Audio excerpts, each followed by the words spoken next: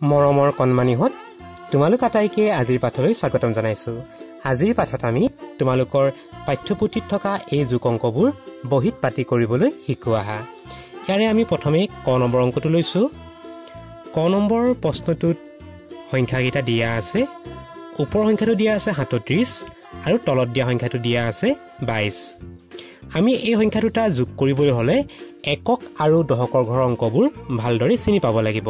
প্ৰথমে পোৱা অংকটো হয় এককৰ ঘৰৰ অংক আৰু ইয়াৰ পাছত পোৱা অংকটো হয় দশকৰ ঘৰৰ অংক। গতিকে এই দুইখিনি অংকৰ মাজতে আমি এডাল আঁচ এনেকৈ কল্পনা কৰি ল'ম বা এখন এডাল আঁচ টানি ল'ম।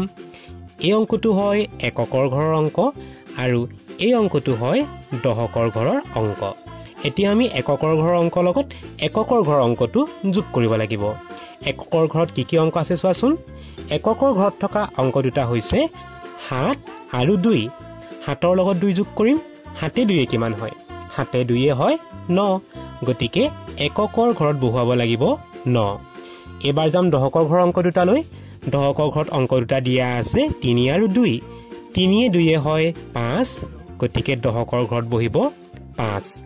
গতিকে যোগফলটো হ'ব পাঁচ ন ঊনষাঠি। ইয়াৰ পাছৰ অংকটো চাওঁ আহা। খ নম্বৰ অংকটো।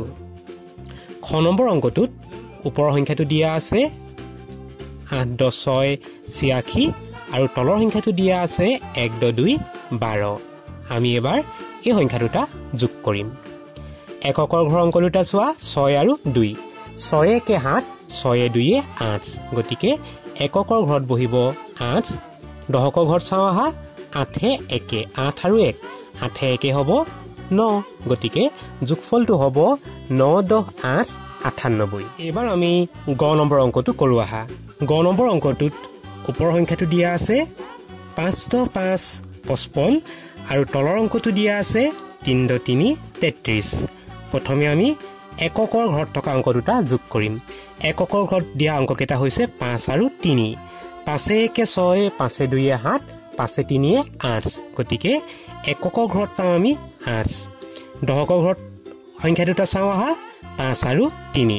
পাঁচে একে ছয় পাঁচে দুয়ে সাত পাঁচে তিনিয়ে আঠ। গতিকে দশকৰ ঘৰটো বহিব আঠ।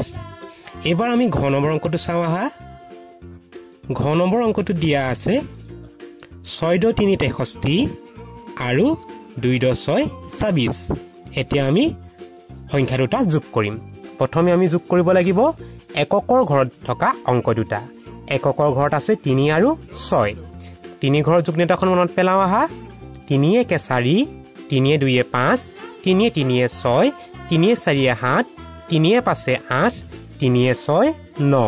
গতিকে এককৰ ঘৰত বহিব তিনিয়ে ছয় ন। দশকৰ ঘৰৰ অংক দুটা চাওঁ আহা ছয় আৰু দুই। আমি ছয় ঘৰৰ যুগনেতাখন মনত পেলাওঁ আহা। ছয় একে সাত ছয়ে দুয়ে আঠ। গতিকে দশকৰ ঘৰত বহিব ছয়ে দুয়ে আঠ। যোগফলটো হ'ব আঠ দহ ন ঊনানব্বৈ এইবাৰ আমি উঙ নম্বৰ প্ৰশ্নটো কৰোঁ আহা। উঙ নম্বৰ প্ৰশ্নটোৰ ওপৰত থকা সংখ্যাটো দিয়া আছে চাৰি দহ আঠ আঠচল্লিছ তলত থকা সংখ্যাটো দিয়া আছে চাৰি দহ এক একচল্লিছ। যোগ কৰোঁ প্ৰথমে আমি এককৰ ঘৰত থকা অংক দুটা যোগ কৰিম। আঠে একে আঠে একে হয় ন গতিকে এককৰ ঘৰত বহিব ন। দহকৰ ঘৰত আছে চাৰি আৰু চাৰি। চাৰিখনত এখন মনত পেলাওঁ। চাৰি একে পাঁচ চাৰিয়ে দুয়ে ছয় চাৰিয়ে তিনিয়ে সাত চাৰিয়ে চাৰিয়ে আঠ। গতিকে দহকৰ ঘৰত বহিব আঠ। গতিকে যোগফলটো হ'ব আঠ ন ঊনানব্বৈ এইবাৰ আমি কৰোঁ আহা প্ৰথম নম্বৰ প্ৰশ্নটো। ওপৰত সংখ্যাটো দিয়া আছে চাৰি দহ চাৰি চৌৰাল্লিছ আৰু তলৰ সংখ্যাটো দিয়া আছে চাৰি দহ চাৰি চৌৰাল্লিছ যোগ কৰোঁ প্ৰথমে আমি এককৰ ঘৰত থকা অংক দুটা যোগ কৰিম। এককৰ ঘৰত আছে চাৰি আৰু চাৰি। চাৰিখনত এখন মনত পেলাওঁ আহা। চাৰি একে পাঁচ চাৰিয়ে দুয়ে ছয় চাৰিয়ে তিনিয়ে সাত চাৰিয়ে চাৰিয়ে আঠ। গতিকে এককৰ ঘৰত বহিব চাৰিয়ে চাৰিয়ে আঠ। দশকৰ ঘৰত চাৰি আৰু চাৰি চাৰিয়ে চাৰিয়ে আঠ। গতিকে যোগফলটো হ'ব আঠ দহ আঠ আঠাশী। এইবাৰ আমি কৰোঁ আহা দ্বিতীয় ছ নম্বৰ প্ৰশ্নটো। ওপৰত দিয়া আছে চাৰি দহ পাঁচ পঞ্চল্লিছ তলত দিয়া আছে তিনি দহ দুই বত্ৰিছ। প্ৰথমে আমি এককৰ ঘৰত থকা অংক দুটা যোগ কৰিম। পাঁচ আৰু দুই। পাঁচৰ ঘৰ নেটখন মনত পেলাওঁ। পাঁচে একে ছয় পাঁচে দুয়ে সাত। এককৰ ঘৰত বহিব সাত দহকৰ ঘৰত আছে চাৰি আৰু তিনি। চাৰি একে পাঁচ চাৰিয়ে দুয়ে ছয় চাৰিয়ে তিনিয়ে সাত। গতিকে যোগফলটো হ'ব সাত দহ সাত সাতসত্তৰ। এইবাৰ আমি বৰ্গীয় নম্বৰ প্ৰশ্নটো কৰোঁ আহা। ওপৰত দিয়া সংখ্যাটো দিয়া আছে সাত দহ তিনি তেসত্তৰ তলত দিয়া আছে দুই দহ পাঁচ পঁচিছ। যোগ কৰোঁ আহা। এককৰ ঘৰত তিনি আৰু পাঁচ। তিনি ঘৰ যোগ এটা মনত পেলাওঁ। তিনি একে চাৰি তিনিয়ে দুয়ে পাঁচ তিনি তিনিয়ে ছয় তিনিয়ে চাৰিয়ে সাত তিনিয়ে পাঁচে আঠ। গতিকে এককৰ ঘৰত বহিব তিনিয়ে পাঁচে আঠ। দহকৰ ঘৰত আছে সাত আৰু দুই। সাতে একে আঠ সাতে দুয়ে ন। দহকৰ ঘৰত বহিব ন। গতিকে যোগফলটো হ'ব ন দহ আঠ আঠান্নব্বৈ। কৰিম ঝ নম্বৰটো। ওপৰত দিয়া আছে আঠ দহ আঠ আঠাশী। তলত দিয়া আছে এক দহ এক এঘাৰ। যোগ কৰোঁ আহা। এককৰ ঘৰত আছে আঠ আৰু এক। আঠে একে ন। দহকৰ ঘৰত আছে আঠ আৰু এক আঠে একে ন যোগফল হ'ব ন দহ ন নিৰান্নব্বৈ। এইবাৰ আমি যোগ কৰোঁ আহা নিয় নম্বৰটো। ওপৰত দিয়া আছে চাৰিদ তিনি তিয়াল্লিছ আৰু তলত দিয়া আছে পাঁচ। এই অংকটো মন কৰাচোন। ইয়াত মাত্ৰ এককৰ ঘৰতহে দুটা অংক আছে। দহকৰ ঘৰত মাত্ৰ এটা অংকই আছে। গতিকে আমি এককৰ ঘৰটো প্ৰথমে যোগ কৰি লওঁ আহা।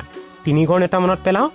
তিনিয়ে একে চাৰি তিনিয়ে দুইয়ে পাঁচ তিনিয়ে তিনিয়ে ছয় তিনিয়ে চাৰিয়ে সাত তিনিয়ে পাঁচে আঠ।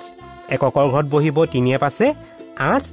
দহকৰ ঘৰত মাত্ৰ চাৰি আছে গতিকে চাৰিটো তললৈ নমাই দিম। যোগফলটো হ'ব চাৰি দহ আঠ আঠচল্লিছ কৰিম আমি মধুন্য ত নম্বৰ অংকটো।